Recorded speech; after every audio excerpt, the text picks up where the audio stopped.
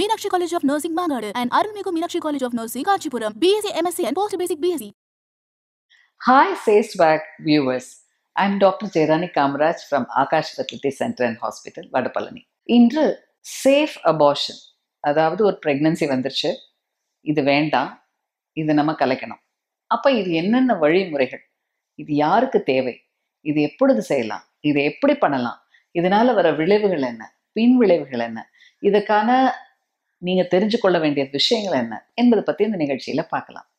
இன்றும் உலக அளவில் பார்த்தீங்கன்னா ஒரு வருடத்துல கிட்டத்தட்ட நூத்தி இருபத்தொன்னு மில்லியன் அபார்ஷன்ஸ் ஆகிறது என்பது ஒரு அதிர்ச்சிகரமான தகவல்.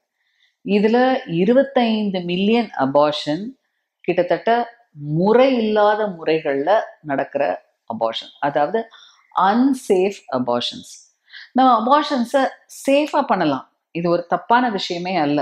ஏன்னா இன்றும் நம்மளுடைய லா சட்டப்படி இது குற்றமான விஷயம் அல்ல. சிலருக்கு மட்டும்தான் இது குற்றமான விஷயம். சிலருக்கு இது வந்து இது கவனத்தில் கொண்டு க செய்ய வேண்டிய விஷயங்கள். உதாரணத்துக்கு ஒரு பெண் பதினெட்டு வயது கீழே இருக்கிறாங்க. மைனர் இவங்க மைனர் பிரெக்னன்சி அது ஈவன் திருமணமான பிரெக்னன்சியா இருந்தா கூட அவர்களுக்கு கண்டிப்பாக தாய் தகப்பன் இல்லை அவங்களுடைய கார்டியன் அவருடைய ஒப்புரதல் பேர்ல தான் இந்த அபார்ஷன் பண்ணணும். இரண்டாவது பாஸ்கோ ஆக்ட் படி இதை வந்து போலீஸ் இன்ஃபர்மேஷன் கொடுக்கணும். இது மருத்துவராகல எங்களுக்குள்ள கைட்லைன்ஸ் இதை வந்து நாங்கள் கண்டிப்பாக செய்வோம். ஏன்னா பதினெட்டு வயசு கீழே நீங்கள் திருமணமான பெண்ணாக இருந்து நீங்கள் அபார்ஷன் பண்ணணும்னு வந்தால் கூட பாஸ்கோவில் வந்து நாங்கள் இன்ஃபார்ம் பண்ண வேண்டியது எங்களுடைய கடமை. இதை நாங்கள் செய்வோம். அதை பொறுத்து நீங்கள் வந்து இது தப்பு தவறல்ல. நீங்கள் உங்கள் கணவன் மனைவியாக இருந்தால் கூட இந்த வயதுங்கிறது ரொம்ப முக்கியமான விஷயம். ஸோ பதினெட்டு வயதுக்கு கீழே ஒரு தேவையில்லாத கர்ப்பம் வந்தால் கண்டிப்பாக தாய் தகப்பனோ கார்டியனோ போலீஸோட இன்ஃபர்மேஷனோட தான் இந்த கருக்கலைப்பு செய்ய வேண்டும் என்பது ஒரு முக்கியமான லீகல் எத்திக்ஸ் இது வந்து கண்டிப்பாக மருத்துவர்கள் நாங்கள் கடைபிடிக்கிறோம். இரண்டாவது சரி இந்த மாதிரி அபார்ஷன்ஸ் ஏற்பட்டது ஒரு கர்ப்பம் வந்துருச்சு. அப்போ இதை நான் கருக்கலைப்பு பண்ணணும்னா என்னென்ன விஷயங்களை கவனம் செலுத்தணும்? முக்கியமாக செய்ய வேண்டிய விஷயம் இருபது வாரத்துக்குள் தான்.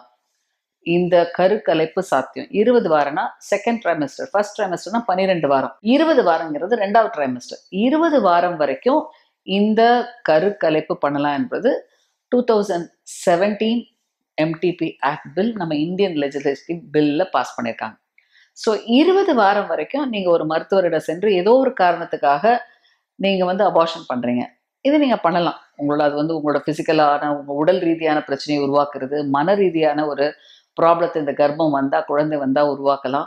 பல நேரங்களில் குழந்தைக்கு ஏதோ ஒரு பிரச்சனை இருக்கு. அதனால இந்த குழந்தை பிறந்தா கூட வாழ முடியாது. அப்படி ஒரு சூழ்நிலை. இல்லை இந்த குழந்தை நிறை மாதம் வரைக்கும் போகும்போது உங்க உடல்ல ஏதாவது பிரச்சனை ஏற்படலாம்.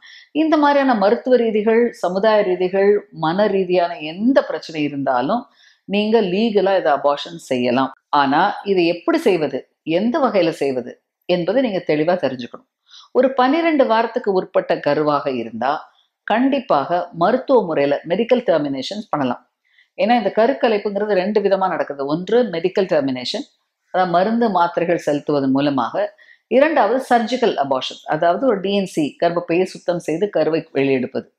இந்த ரெண்டு விதமான முறைகள் தான் இன்று வழக்கத்தில் இருக்கிறது இந்த மெடிக்கல் டெர்மினேஷன் வந்து பொதுவாக பன்னிரெண்டு வாரம் வரைக்கும் சொல்லலாம். ஆனா இதுல ஒரு முக்கியமான விஷயம் என்னன்னா நாட்களும் வாரங்களும் அதிகமாகும் போது மருத்துவ ரீதியாக கொடுக்குற மாத்திரைகளில் டெர்மினேஷன் என்பது பல நேரங்களில் ஃபெயிலியர் ஆகலாம் இல்லை இன்கம்ப்ளீட் ஆகலாம். இன்கம்ப்ளீட்னா முழுமையான முறையில் இந்த கரு கலையாமல் இருக்கலாம். இதற்கான வாய்ப்புகள் ஒரு பத்து வாரத்துக்கு மேற்பட்ட கருவாக இருந்தால் இருப்பதற்கு அதிகமான வாய்ப்பு உண்டு.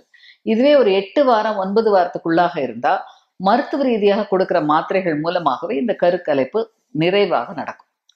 ஸோ ஒரு பெண்ணுக்கு மருத்துவ ரீதியாக கருக்கலைப்பு என்பது சில மாத்திரைகள் கொடுக்குறோம். இந்த மாத்திரைகள் கொடுப்பதன் வந்து இந்த கரு வளர்ச்சிக்கு தேவையான சில ஹார்மோன் ரிசப்டாஸை தடை செய்கிறது. இதன் மூலமாக இந்த கரு வளர்ச்சி அரெஸ்ட் ஆகி கர்ப்பப்பையிலிருந்து பிரிவு பிரிகிறது. அதோடு சேர்ந்து இந்த கர்ப்பப்பையின் வெளிவருவதற்கு பல நேரங்களில் வெஜைனல் அடி வழியாக சில மாத்திரைகள் வைக்கிறோம். இந்த வகையில மருத்துவ ரீதியாக இந்த முறையில் கருக்கலைப்பு பண்ணலாம். இதனை நீங்க தெரிஞ்சு கொள்ள வேண்டிய விஷயம் மருத்துவரின் பரிந்துரையின் பேர்ல தான் இதை பண்ணணும். ஏன்னா சேஃபாக பண்ணுவது முக்கியம். ஏன்னா இதுக்கு நாளைக்கு வந்து இதனால வர காம்ப்ளிகேஷன் நிறைய இருக்கு. இதனை நீங்க தெரிஞ்சீங்கன்னா கண்டிப்பா டாக்டரோட ஒப்புரவு இல்லாம நீங்க பண்ண மாட்டீங்க. இதை நீங்க தெரியாம இந்த மாத்திரைகளை எடுத்தீங்கன்னா உங்க கர்ப்பம் எந்த லெவல்ல இருக்கு? என்ன வளர்ச்சி இருக்கு? கர்ப்பப்பையில தான் இருக்கிறதா?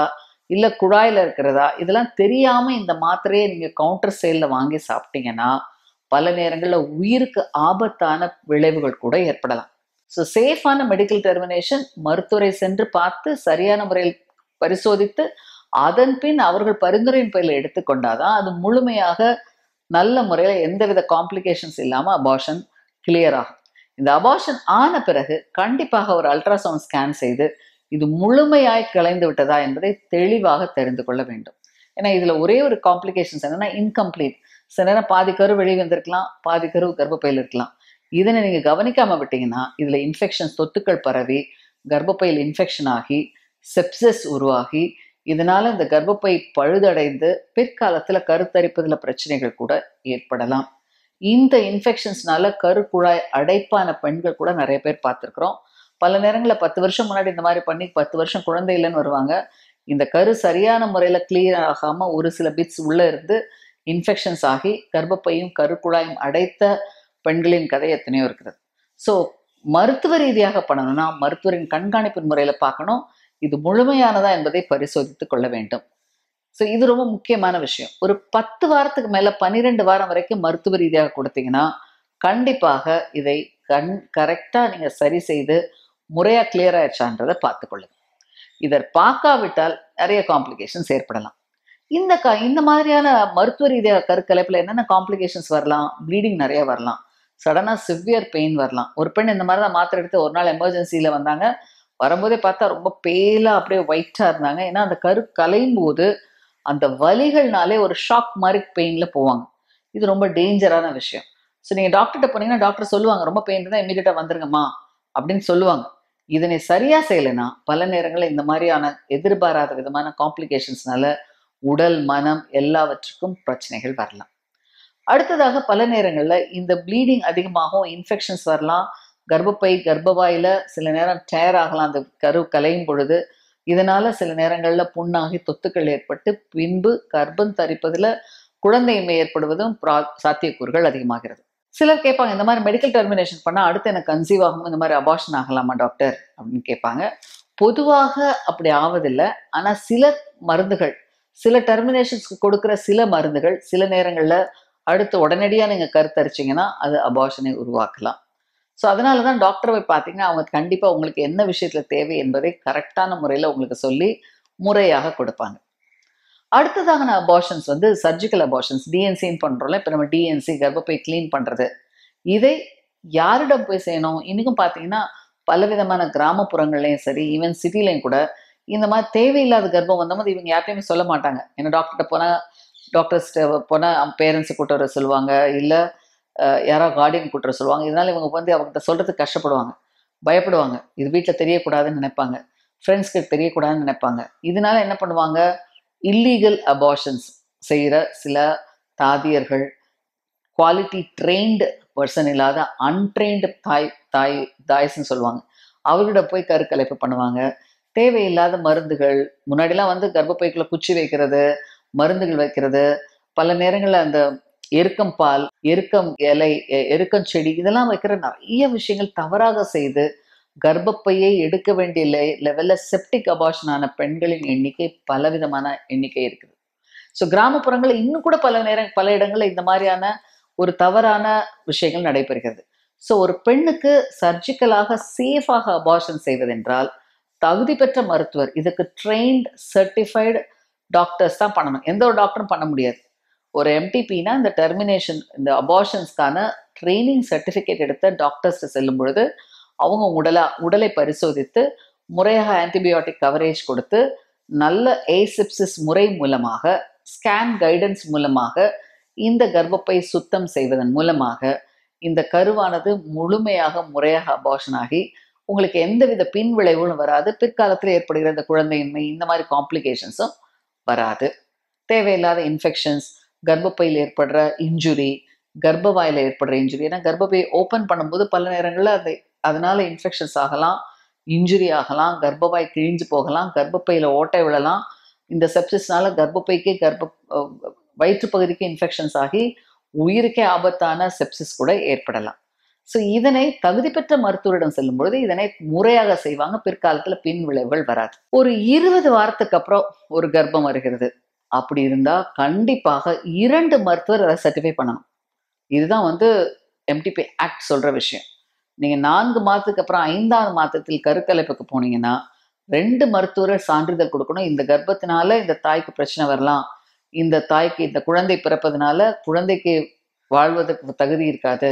இந்த தாய்க்கு இதனால பிரச்சனை வரும் இந்த இரண்டு மருத்துவர் சர்டிஃபை பண்ணாதான் இருபத்தி ரெண்டு வாரம் வரைக்கும் அபார்ஷன் செய்யலாம்.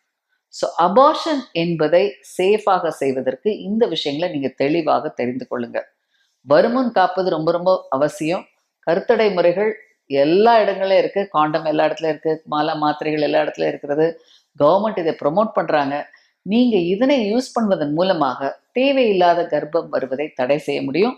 ஒருவேளை கருத்தரிச்சிங்கன்னா முறையான தகுதி பெற்ற சேஃபான அபார்ஷன் சென்டர்ஸில் சென்று உங்கள் கருவினை கலைத்து இதற்கு பின்பு உங்கள் கர்ப்பத்தை பிளான் பண்ணுறதுக்கான வழிமுறைகளை தெரிந்து ஆரோக்கியமாக வாழ கற்றுக்கொள்ளும் Meenakshi college of nursing Mangadu and அருள்மிகு Meenakshi college of nursing Kanchipuram admissions open for BSc MSc and post basic BSc apply now